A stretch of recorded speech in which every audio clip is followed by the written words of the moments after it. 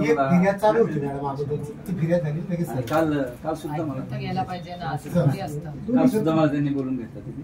आणि मग ते पंचनाम्याला जाऊ मी जवळजवळ दीड तास बसल्यावर मग ते माझ्यावर आले. म्हटलं मला चक्कर येऊन झाली. त्याला माझ्याबरोबर तर मग आता ते मला उलट प्रश्न विचारतात तुम्ही अशा अशा आम्हाला का नाही सांगितलं म्हटलं हा काही क्वेश्चन होऊ शकतो कॉमन माणूस आहे, मला विषय वाढवायचा नव्हता असं नाही जो गलत आहे वो गलत आहे पण म्हटलं- म्हणजे हे तुम्हाला सांगू गृह खात्याचा प्रॉब्लेमच आहे राज्यामध्ये. बघा ना जालन्याची घटना झाली आता तुमची हो महिलांवर होणारे अत्याचार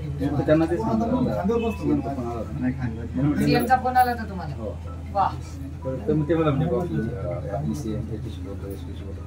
मला जर रक्ताचा उपयोग होणार असेल ना तर मला काहीच फक्त तुम्ही मला फक्त